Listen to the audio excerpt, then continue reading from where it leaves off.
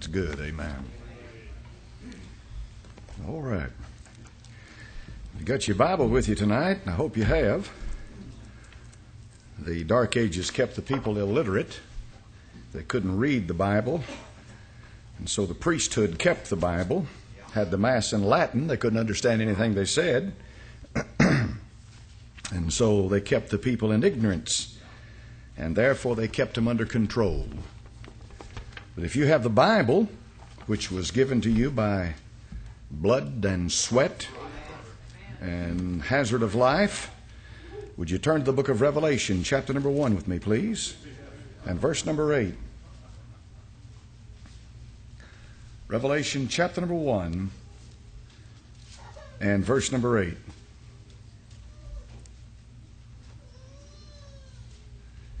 The heading for this book says The Revelation of Jesus Christ to St. John.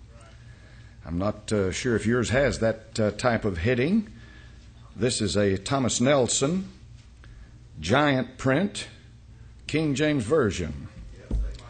And I still have to strain to read it. But thank God I can. Amen.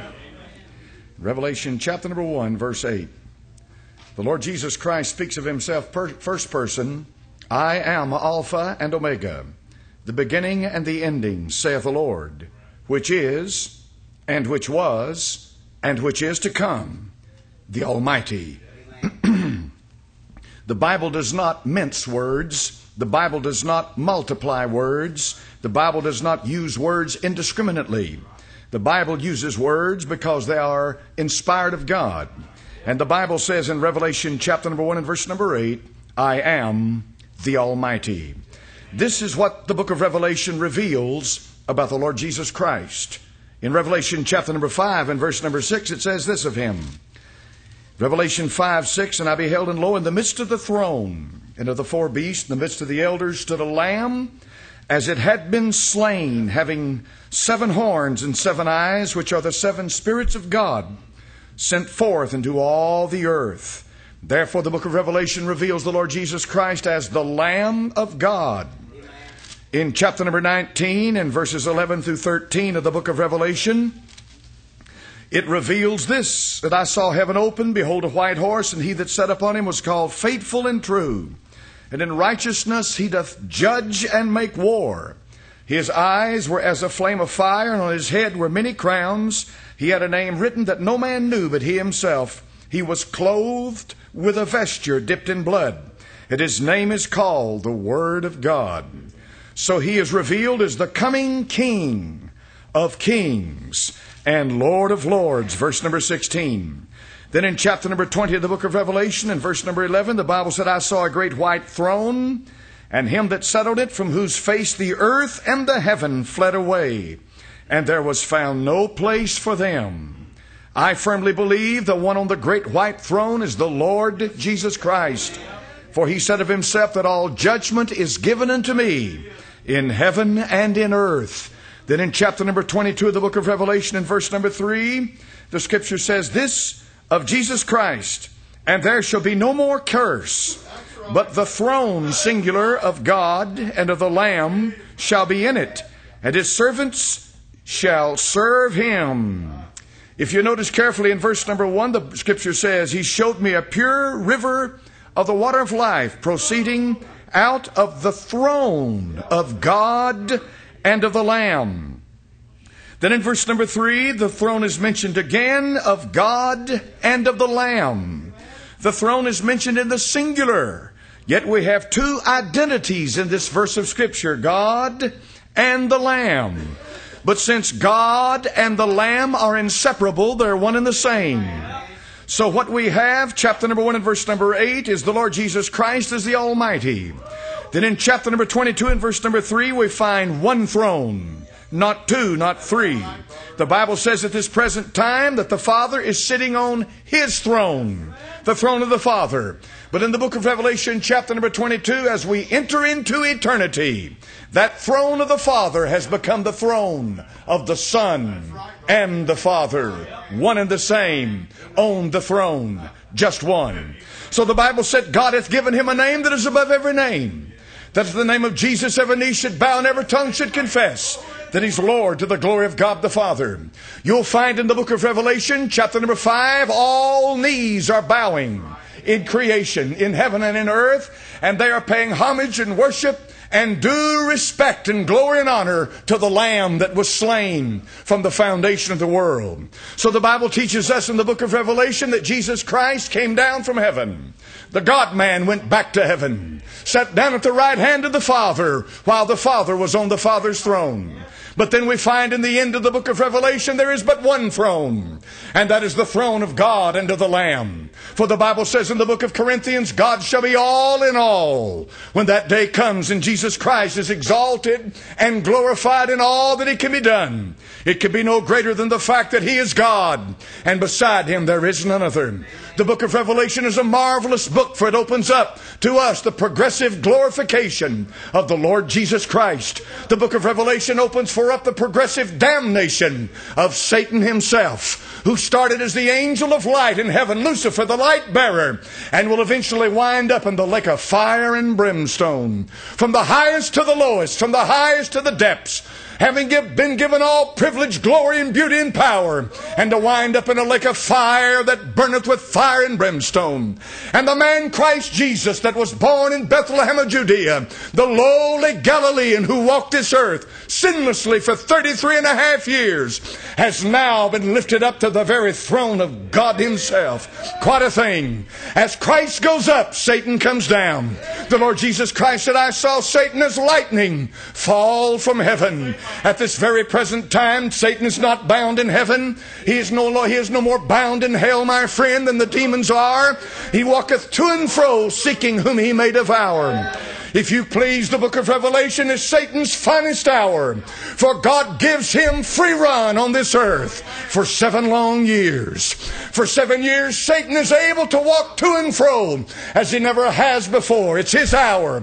It's the power of darkness, the power of hell, when the very hell itself is opened up and the inhabitants of hell are belched out upon this earth. Revelation chapter number 9. It's a time when there seems to be nothing holding Satan back, for he elevates his own man to the highest place on this earth. He becomes the very personification, the very incarnation of the devil himself, and we call him the Antichrist the false Christ, the pseudo Christos, and he will come with his power, and his power will be not his own power, but it'll be the power of the devil himself. And so Satan, my friend, is turned loose.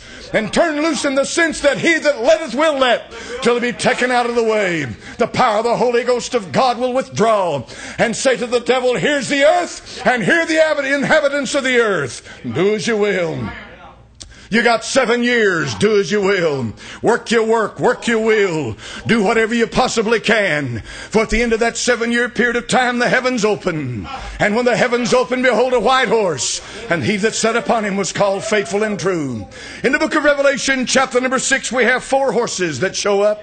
Now I want you to look at this tonight with me, please. Revelation chapter number six and start with verse number one. I saw when the Lamb opened one of the seals and I heard as it were the throne, the noise of thunder, one of the four beasts saying, Come and see. And I saw and behold a white horse, and he that sat on him was had a bow, and a crown was given to him, and he went forth conquering and to conquer. And when he had opened the second seal, I heard the second beast saying, Come and see. And there went out another horse that was red, and power was given to him that sat thereon to take peace from the earth, that they should kill one another, and that there was given to him a great sword. When he had opened the third seal, I heard the third beast say, Come and see. And I beheld, and a black horse, and he that sat on him had a pair of balances in his hand. And I heard a voice in the midst of the four beasts say, A measure of wheat for a penny, and three measures of barley for a penny. And see thou hurt not the oil and the wine. And when he had opened the fourth seal, I heard the voice of the fourth beast say, Come and see. And I looked, and behold, a pale horse. And his name that sat on him was death and hell. And hell followed with him, and power was given to them over the fourth part of the earth, to kill with sword and with hunger, and with death and the beast of the field. If you'll notice, four horsemen show up in Revelation chapter number six. One of them is white, one is red, one is black, and one is pale. The white horse has a rider that has a bow and no arrows. He is an imitation of the Lord Jesus Christ. This is the Antichrist as he comes riding forth upon this earth. When he um, eventually does make his appearance on planet Earth, they'll be fully ready for him.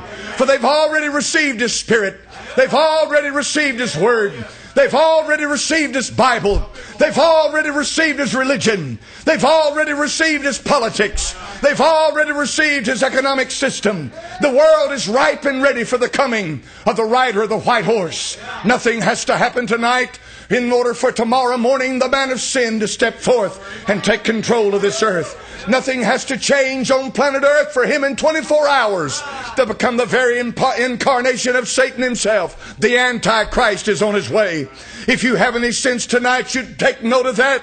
You'd say to yourself, I understand now why things are as bad as they are. It begins to make sense why this earth is spinning out of control. My friend, the Bible says in Revelation chapter number six, the first one to show up is the man of sin. He's an imitation of Jesus Christ. He's an anointed one. He's the Christ himself. He preaches a false Jesus. He preaches a false spirit. He preaches from a false Bible into a false church. He's an imitation of the Lord Jesus Christ. He does his dirtiest work inside the church, in the halls of religion, in the Bible colleges throughout the world. He's a liar and a deceiver, always has been, always will be. He's the father of a lie. He invented it. It was born in his bosom and came forth from him in the very beginning. So the Bible tells you get ready. The first rider to come upon planet Earth will be the Antichrist. They make fun of him. They mock him. They, th- they sing about him. They think they can control him by saying these things. But he's a powerful being. His power is not his own, but it's the power of Satan himself. Satan has all kinds of power that man does not have. He said to the Lord Jesus Christ, I have the kingdoms of this world and I can give them to you in a moment of time. Simply fall down and worship me. Christ said, It is written, Thou shalt worship the Lord thy God and him only shalt thou serve. You can't buy the Son of God. He's not for sale.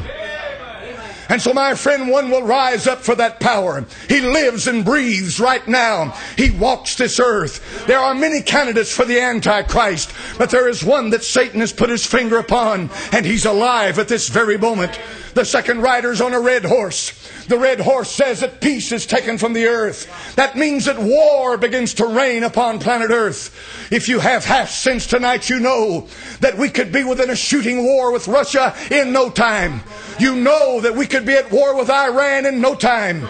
You know that a conflagration could break out in the Middle East and also in Eastern Europe. My friend, that could make the Second World War look like a picnic because of the weapons that we possess now. Far above and beyond anything they had in World War II. We have power of destruction that they could only dream about then. We have it in our disposal right now. This next war is going to wipe man from the earth. The next war will produce tens of millions of casualties. The next war will bring in the worst famine the earth has ever known. For the next rider is riding a black horse.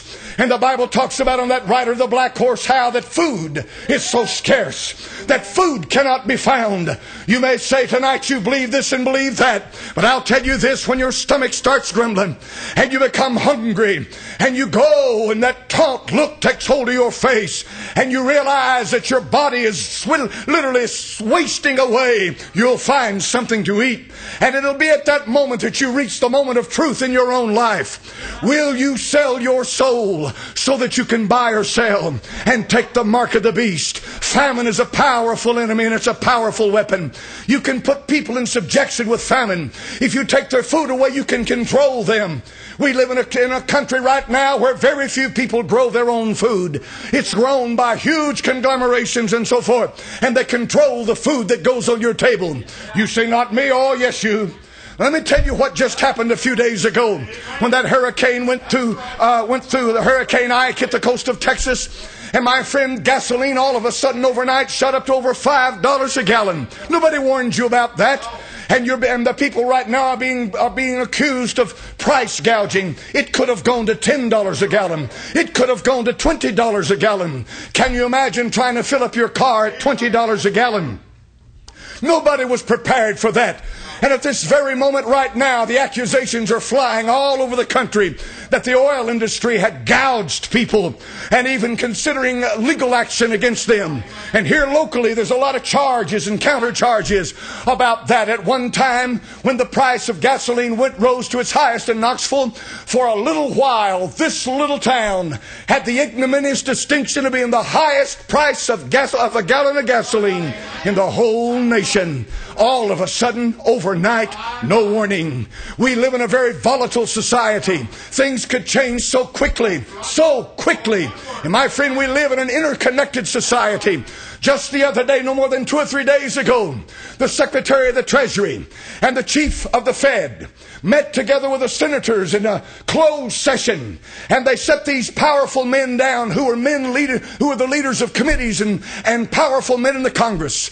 And they said to them, we better do something right now within 24 hours, or the financial system in America will melt down. And what it means by a meltdown, they said we're only 500 trades away from an absolute meltdown. Uh, not the New York Stock Exchange that dropped 500 points in just the last few hours. They said if we don't do something, whole industries in America will come to a screeching halt. These industries operate on, flu- uh, on the fluidity of, of, money, the, the passage of money, the fact that it's available and they can use it, and it was not going to be available. So the United States of America faced a financial crisis like it had not faced since 1929 when the stock market crashed. And they said, You better set aside partisan politics. You'd better do something for the good of your country. You better do it and you better do it now. There's no time to argue about it. There's no time to do any, to do any, to do any research on it. We're telling you because we know what we're talking about. I'm the Secretary of the Treasury and he's the Chairman of the Fed. You'd better do something about the financial situation in this country or it's going to be gridlock and America will go belly up financially. And so that night they settled on what they had to do. The next day, $500 billion was pumped into Wall Street. It raised 500 points. The selling of the stock at Wall Street. It's already raised over a trillion dollars on Wall Street. By that afternoon, the buying and selling of stocks had begun again as they had before. Confidence was once again in Wall Street. But what had happened was a unique thing. The United States government had bailed out the financial system in this country, and now the United States government is in control of the mortgage industry. When they when the Bear Stearns went belly up a few months ago, Lehman Brothers went belly up. You're talking about some of the biggest banks. Lehman Brothers predates the Civil War, 157 years old, and it went belly up. If you don't know anything, you understand by that that the financial situation in this country had reached a boiling point, a breaking point, and it happened quickly. Why did it happen, preacher? It happened because of what the Bible says. The love of money is the root of all evil. It was pure greed that drove this, this financial crisis that we're in. It was absolute greed. It was the greed of buying and selling homes and not even inhabiting them and flipping them as they called and possess one for a week or two and turn around and sell it and make a 50, 75 or 100% profit. It was pure, unmitigated greed. And my friend, is there any reason for you to believe tonight that greed will not dominate what man does in the tribulation period? It'll be the survival of the fittest, the strongest. They'll be the ones who overrun the others. Here in Knoxville, Tennessee, for a short time, when on Kingston Pike, they were starting to close down gasoline stations. They part started to put socks on the pumps. People were literally fighting over a pump. They were literally breaking line and breaking heads so they could get some gasoline. Pity some man's poor grandmother trying to fill up her car when some big brute comes along and drives her down so he can get some gas. Is it, after all, is not the Bible say, does it not say, skin for skin? All that a man hath will he give for his skin. The Bible says it. You know who said it? The devil said it. And it's 99% true, but not always. There are those that would lay their life life down for Jesus Christ. There are those that would rather die than deny his name. There are those that would die before they took the mark of the beast. There are those who would give their life for the Son of Man. And the devil never has figured them out and he never will figure them out. Amen. Because Satan operates totally on the superficial, the outside, the put on, the facade, the farce. That's what Satan lives by. He lives by the senses of the flesh, being dead in the spirit. He has no contact with the Holy Ghost, has no understanding of the real mind and soul of God. But once you're born again by the grace of God, you understand a higher law, a higher principle, a higher purpose, and that is that I, the life which I live in the flesh, I live not by the not by the flesh, but I live by the faith of the Son of God who loved me and gave Himself for me. My friend, horrible times are coming. I hate to be the bearer of bad news. Most folks in America are accustomed to feel good, rock rap, self love, self esteem sermons. I realize they're so accustomed today to having them packaged and repackaged and reprogrammed Sunday after Sunday that if they walk out and don't feel good about themselves, they blame the preacher. But sometimes it's awful good for you to not feel good about yourself. Sometimes it's good for you to take a good long look at who you are, what makes you tick, and let the Holy Ghost begin to deal with your heart. They're scratching and clawing right now for a dollar bill. They are the children of this world. And the only thing they care about is this life here and now. And that's where Satan will have his power. For he will control men like they've never been controlled before. But it doesn't end with a black horse. It doesn't end with a red horse. It doesn't end with a white horse. That's just the beginning. For the Bible says a pale horse comes riding out upon the scene. Let those let those hooves hit planet Earth. And when that fourth rider comes, Revelation chapter number 9 says, I saw the angel with a key to the bottomless pit. And when he comes down and opens that pit, creatures come up out of that pit that defy explanation. I'm talking about spirit beings that come out upon the earth, and the scripture says, sting men. And during that time, their tails sting them. They plead for death, and death will flee from them. You've never known a time like that. But the world is conditioned for it. They've been brainwashed to accept it. Every Hollywood movie that comes out anymore has got some kind of a spiritual twist to it, some kind of a spiritual thing involved in it. There is an absolute fascination in this country now with the supernatural, with the spiritual. You talk to the average quote unquote Christian, and he, my friend, is like a man walking through a cafeteria line. He picks a little bit of Buddhism, he gets a little Confucianism, he gets a little Mohammed, he gets a little Taoism, he might borrow some from Christianity. He pulls a little witchcraft, a little pagan here, this and that, because he's spiritual. It's not about his relationship with Christ, it's about how great he is, how spiritual He is. So they revel in their spirituality. They, they wallow in their spirituality. They brag about their spirituality. And at no time are they true believers in the Lord Jesus Christ. That's what's filling the church up, friend. That's relativism. That's the product of it. That's when it gives birth. And there are people that come to church and walk in here and I've watched their faces. I have a position you don't have. And I've read faces for a long time. And after 32 years, you just kind of get it imprinted in your soul. I know shock when I see it. And I've seen people come in here, friend, and it's like they say, they say to themselves, Where am I? Where am I? Where am I? I thought this was a church. It is a church. This is an anachronistic church. We're out of time. We fit back a hundred years ago. We're not part of the modern scene. Sorry. No big screens up here. Sorry. Hate to let you down. Sorry. No positive feel good messages. Sorry. Sorry. No, no, I'm sorry about all that. We don't have a band in here to play for you. We're not going to rock you. We're not going to rap you. We're going to sing the songs of Zion. Amen. We're going to sing the old stuff, the good stuff, the stuff you heard before I preached tonight. That's the good stuff. That's what we're going to sing. Why? Because the Holy Ghost witnesses it. When we sing it for some reason, the Holy Ghost shows up.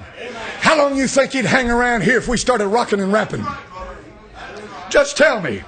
So, my friend, there's a vast difference between the true church of God and this put on farce that calls itself Christianity today.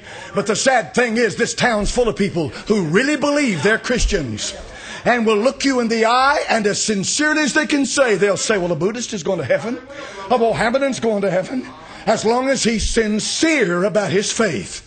You're talking to relativism, and they don't know anything about the Lord Jesus Christ. Hell's coming, folks. Four horsemen in Revelation chapter number six. This earth isn't ready. And it's going to be a horrible place to be. Let me ask you a question tonight. Are you saved? Are you ready for that? Are you prepared for that day? For the Bible says in the book of Revelation, chapter number four, the Apostle John was on the isle called Patmos for the Word of God and for the testimony of Jesus Christ. I've read it time and time and time again. Every time I read it, it thrills my soul. John said, I heard a voice in heaven saying, Come up hither. And John gets caught up hither. He gets caught up out of this earth and looks at everything that happens on it.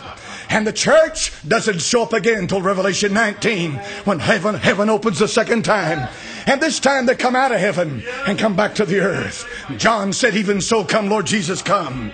Amen. I have no hope in planet Earth. I have no hope in the government. I have no hope in the Republicans or the Democrats. Sorry, I don't want to make you mad tonight. Politics will not save America. I have no hope in the government's ability to solve our problems. I have no hope in the so-called church that's supposed to be preaching the gospel.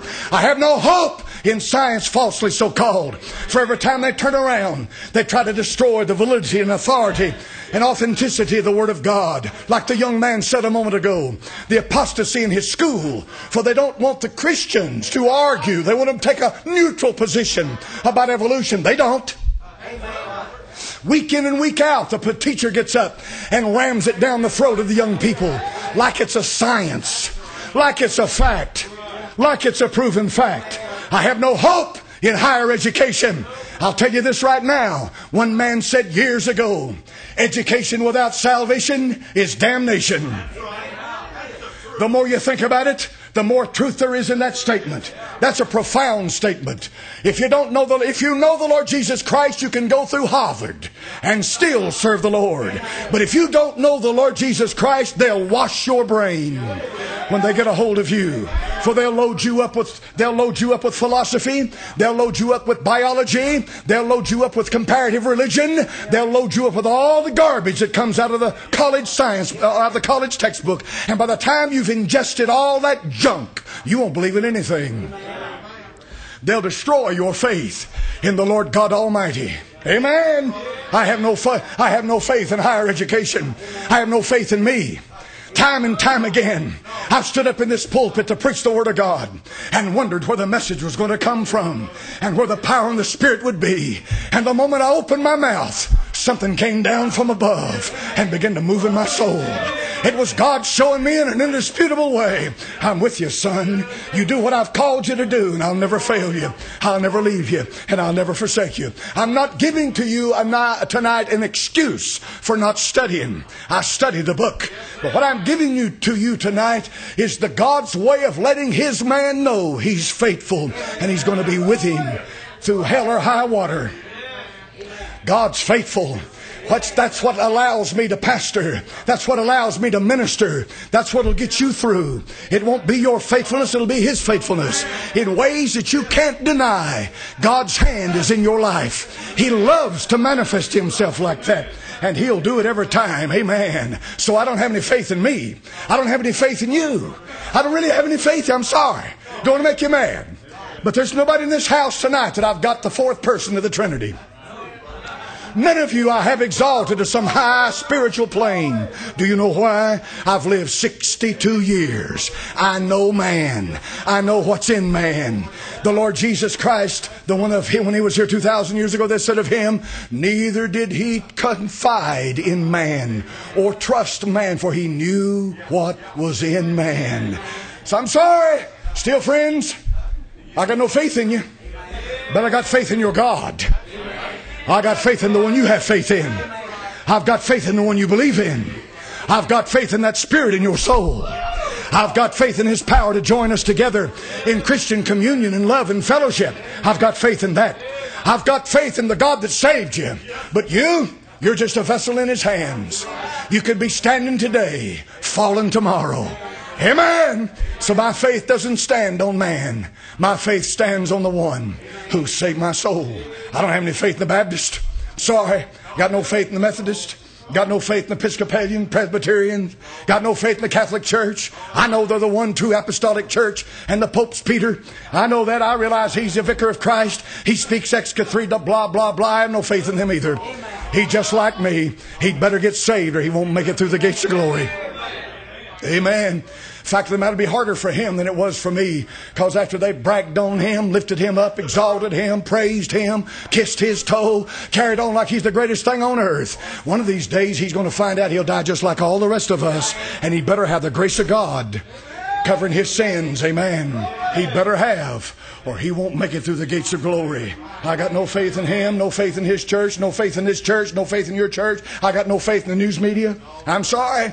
CBS, NBC, ABC, even Fox and CNN, even Drudge and Rense and all the rest of them, I still have no faith in them. Why? Because they're fallible men.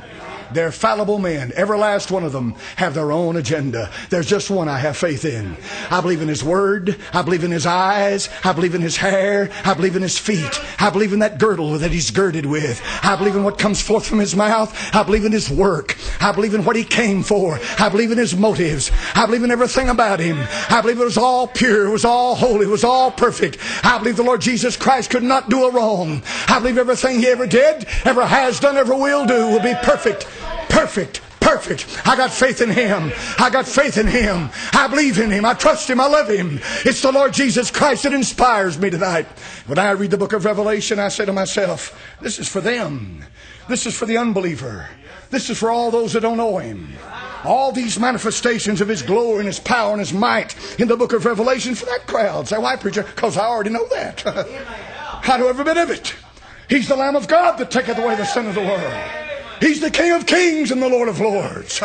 He's the only one that is qualified to open the book and the seals and unloose the judgment of God. He's coming judge of the mankind and of this earth. Well, I believe all of these things before I ever see him in glory. Peter, I know exactly what you're talking about. You say you believe because you've seen, talking to the first century believer in Christ. He said, but there are those who haven't seen, and blessed are they that believe and haven't seen. That's me. That's you. That's us. He made provision for us. He knew we'd be here 2,000 years later. That's just a couple of the ticks on the clock for God. A day is a thousand years, a thousand years is a day with the Lord. I mean, after He made man and winds it all up, it's just a week. Imagine one that liveth from everlasting to everlasting, from eternity to eternity, and liveth and bideth in, in His own element. There is none beside him. He said, I'm going to take one week out of eternity past into eternity future. One week, just seven short days, and the whole history of mankind will be consummated and brought to fruition in one short week. Can you imagine? Just one week. You mean, preacher, that's all of our 7,000 year history? Do you mean that's all the time we take up with God? Just a week. Just a week. Just a week. Cherubims have been around at least four, five, six, seven, ten weeks, month or two, and maybe even a year in God's calendar. I don't know how long a seraphim been. I don't know when He made them. I mean, they've been around a whole lot longer than man. Angels, well, they predate you by a whole lot. The Bible said in the book of Job, they shouted when God created the earth, brought it into existence. Do you know what they shouted from? They shouted from being astounded, scared to death. For at one moment, here's God and here's them and nothing but black eternity. And the next moment, bang!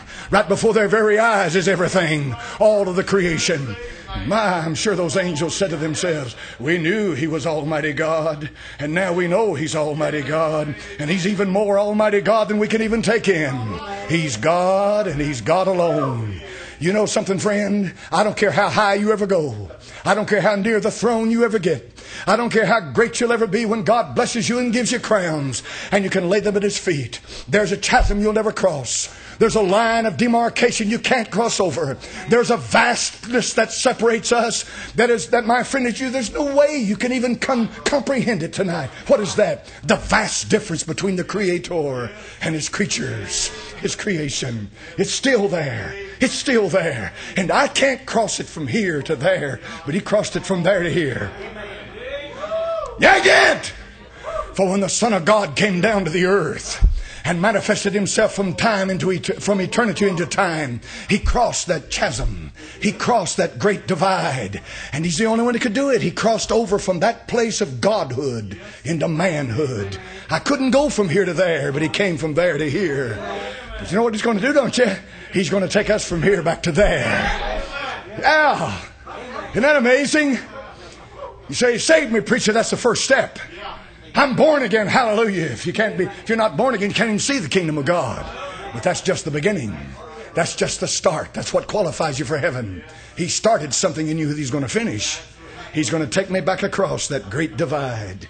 Where is that place, preacher? It's where God abides alone. It's not a place that has to be. It's where God is. Remember, God was always before there ever was a place. There was no place when God was.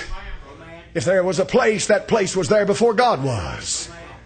And God would have to have a place to exist and dwell. He doesn't need it because He doesn't need anything to exist. He abides in His own element.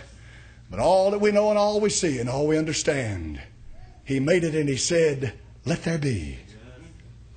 And the elements came into existence. He said to the wind and to the waves, Be still. And they ceased blowing, and the, and, and the sea ceased raging. When you think about it, you think to yourself, My, my, what a thing. The book written 4,000 years ago, God said, Let there be. And that's it. Somebody said, I don't believe that. That's your, your prerogative. prerogative. You know, everybody's got a right to make a fool out of himself. If you don't believe it, that's okay. I believe it. But he didn't say a thing when he made man. He didn't say a thing. He just reached down to the dirt that he had said, let there be, and it became dirt. And he took a handful of it and he fashioned it. Then he did something he didn't do to anything else. He never did it to a deer. He never did it to a dog. He never did it to a monkey, elephant, squirrel, rat, snake. He took that piece of clay and he breathed into it. And it became a living soul. That's never, that's never said of any animal becoming anything. The animal came into existence by the voice of God. Because the animal is not a man, it's not made like a man. It doesn't have the essence of a man. But the man became a living soul by the breath of God. That meant right off the bat that God had something special for that man that he didn't have for the animal. Something special. He's got something special for you tonight. He really does. He's got something special for you. If you're just willing to accept him for who he is. Once he becomes God, everything else is seen in the right light, perspective, right? As long as you're God, it won't work. Let him become God. And he'll become God to you. Because he'll wear you out, showing you stuff that'll blow your mind. Let him become God. Let him become God. Amen. I'm so glad, thank God, about 25 years ago, I broke away from the Baptist apostolic doctrine. What are you talking about? They explain away all the miracles, explain away everything God's doing today, and say it all happened in the apostolic age. I'm glad God got me out of the apostolic age. And I believe the Bible. I believe that anything He did in the first century, He can do in the 21st century. I believe it. And I've seen it happen time and time again. Young people, you're the more likely. If the Lord doesn't come back soon, and I believe He'll come back soon, but if He doesn't come back soon, you teenagers back there will be more likely to see this Antichrist that I'm preaching about than a lot of us may. Because by virtue of the fact that you're young, if He doesn't come back, say, in 30 years or 40 years, a lot of us will be gone. We'll be gone. We won't be here anymore. We'll go by the way, as David said, of all the earth, go by the way of the flesh. We'll be gone. But you'll be here. Most of you will still be here 30 years from now. Most of you 16 years old, you'll be 46, 47, 50 years old, 30 years from now. I don't believe it'll be 30 years from now. I firmly don't believe it'll be 30 years from now. I believe the Antichrist will be here in a decade. I believe it. I believe it. He may be here in five years. He may be here in a year. You may hear a shout tonight. and he shows up tomorrow. But I warn you, young people, one thing never do. If you're not born again and you don't go at the rapture and you find yourself left behind, don't take the mark. Don't take the mark. Let me explain something for you because there's a lot of confusion here, and this is the part that I firmly believe. The Bible said in 2 Thessalonians chapter number 2, because they love not the truth, but love the lie, God will send them strong delusion.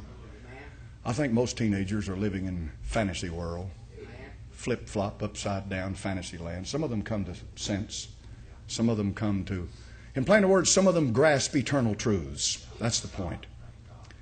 Most teenagers live for right now, the excitement of this moment, the excitement of this day. And that's just the way kids are. I mean, that's the way you are. That's not altogether wrong, it's just part of growing up and maturing. But as you get older, you start reasoning, you start thinking, you start thinking. Amen. And then if the Holy Ghost begins to move in your heart and you consciously reject the Lord Jesus Christ, then you're the one who believed not the truth but loved the lie. In the tribulation period, He'll send you a delusion and you'll take the mark of the beast. You'll take it. But I believe a lot of teenagers, if the rapture took place right now, would go into the tribulation and still could be saved because they haven't been convicted. They haven't consciously rejected the Lord. Yeah, I believe so. I believe so. I know some preachers that say if you've even heard the gospel, there's no hope for you, but I don't believe that for at all. I don't believe that for a minute. No, I believe it is the conscious rejecting of the Son of God by the power of the Holy Ghost. In plainer words, when He convicts and you reject, that is a big deal. That's a big deal. I was uh, baptized at 12, but I was convicted at 27. I was tried and found guilty. If I had died at 27, I'd gone to hell, boys. I'd been in hell since 1973. But God was merciful to me. He convicted me, and then He gave me an opportunity to be saved. I'm thankful tonight, so thankful, so thankful, so thankful that I was saved. And I don't care to tell you or anybody when I was born again. Fact is, I, I rejoice in doing it. The Apostle Paul did time and again, told about his Damascus experience, time and again, time and again. I remember 1980, man came into this office back here, came up from Florida. His son in law was going to teach in our school. He walked in there and said, How do you do? He said, I'm so and so. I said, I'm glad to meet you, sir. He said, Tell me when you got saved. Just like that. Just like that. A lot of the reverends would have been offended by that, but that didn't offend me a bit. I said, I'll be glad to tell you. I'll be glad to tell you. I'll be glad to. Then I told him when I got saved. Told him how I got saved. Told him the circumstances surrounding how I got saved. Told him right there on the spot. Apparently it was all right with him. The Holy Ghost confirmed it in his heart. Yeah, he never asked me again. And he was happy with what I said. Father, Lord, I don't know who all will hear this. I know these folk in here tonight heard it, and I know people on the internet heard it. I know people on radio will hear it, and I know people on television will hear it. They may hear it through tapes and CDs and DVDs.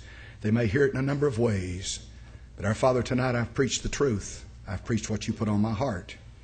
Lord, this earth is going to change drastically, and it's going to change soon. And I pray people are ready for the coming of the Lord. We can't reach all of them. There's no human po- way that's humanly possible. We can't do it. We'll reach the ones that you give us, though. We'll reach them. In Jesus' name tonight, and for Jesus' sake we pray. Heads are bowed and eyes are closed. Nobody looking. Anybody raise your hand tonight and say, Preacher, don't you pray for me? Because I'm not sure. If the Lord came tonight, I'd be ready to go. I'm not sure. I'm just not sure. I don't know. I hope so, but I'm not sure about it. I, I just don't know. Anybody? You raise your hand and say, Pray for me. God bless you. I appreciate that. God bless you. A hand went up right there. Another hand back here. Anybody else? Raise your hand. Say, Preacher, I'm just not sure. don't know. Not sure. Hope so. I've done everything I can do. Tried my best to believe in the Lord. Try to live a good life and be good to people and kind to people and so forth. But I'm just not certain. You see, that assurance comes from the Holy Spirit. The Holy Spirit comes by the reception of Christ. It's a person that you have to receive in your heart, not a doctrine. It's not a bunch of stuff you believe about Christ. It's believe Christ, believe Him, believe His Word. He that hath the Son, if any man comes unto me, he said, I will in no wise cast him out. Take him, take him, take him by the hand, take him by his word. Take him, embrace him into your heart, and you're receiving the Savior. That's salvation, folks. That's salvation. Receiving the person of the Lord Jesus Christ. That's salvation. That's salvation. Anybody else tonight? Any of you young people, teenagers, y'all ready? Y'all know you're ready? Anybody? Anybody like to raise your hand tonight and say, Preacher, pray for me because I got loved ones. I've got family members that are not saved and not right and not ready. Everybody in the house, everybody in the house just about raise their hand. 90, 99% of the people in here raise their hand. That's the way it ought to be. I'd say practically every household in here. I'd say every household in this church tonight. You've got somebody in your house family member, grandfather, grandmother, mother, father, son, daughter, husband, wife, sister, brother, somebody, uncle, cousin, somebody that's not saved. Somebody. That ought to give us something to pray about. Ought to. I've got people on my heart I pray for all the time. They don't have a clue I'm praying for them, but I pray for them. God just laid them on my heart, and every time I get on, I start praying, I pray for them. I pray for them. I call their name out before God. I've been doing this now for a long time. God knows who they are. None of them are in this church. I doubt if any of them even know them. But I'm praying for them. I'm praying for them. God knows I am. I'm praying for them. I think it's good to have somebody like that on your heart, don't you? I do. I believe it's good for us. I believe it's real good for us. I believe it's part of making up our character is to pray for the salvation of somebody that kind of even looks hopeless, looks like there's no hope. God excels in the hopeless. He certainly does. That's what it says about uh, Abraham in the book of uh, Hebrews. He hoped against hope. And God did it. He did what He said He'd do. Father, in Jesus' name, now I've preached what you gave me. I've got peace, Lord. I can rest tonight. I, I, I tossed and turned last night, Father, and I know why I do that. But God, I'll lay down tonight and I'll rest. I'll rest. I've delivered my soul. I'm at peace. I use what I've preached for Jesus' sake. Amen. Brother?